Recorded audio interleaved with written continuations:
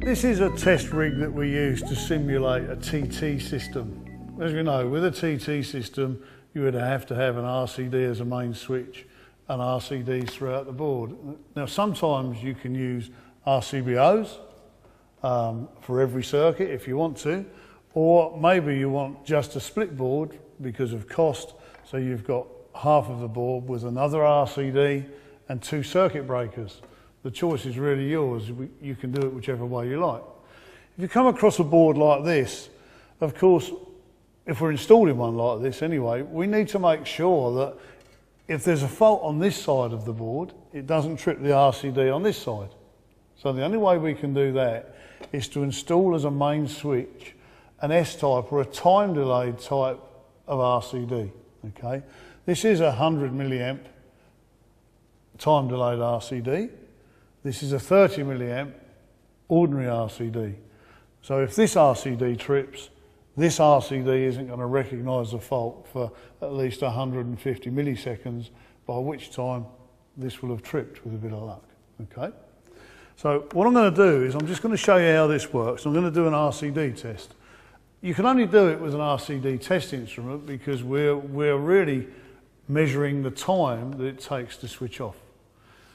If you've got a BS RCD, it's going to trip it or should trip in 200 milliseconds. If it's BSEN, it must trip within 300 milliseconds. BSEN would be really a, a circuit breaker, um, an RCBO. Okay, so if I now turn this to 30 milliamps, which is what the rating is of this RCD, turn it to times a half and plug it in. Okay, now switch it on, tells me there's voltage there. If I now push the button, it shouldn't trip within two seconds. Two seconds is the vital time, okay? I now set this to times one, which is going to allow an imbalance of 30 milliamps within the RCD. At this point, it should trip within 200 milliseconds, okay? Because this is a BS type. Push the button. It's tripped within 200 milliseconds, it's 34.9. So perfectly okay, less than 200. But of course, that's only on one side of the waveform. If you see, that's got a zero there. What I really need to do is test the current going both ways.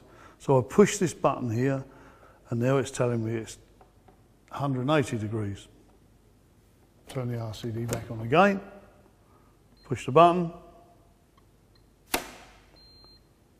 Again, it's tripped within 26 milliseconds, which is really quick. As I say, 200 is the maximum.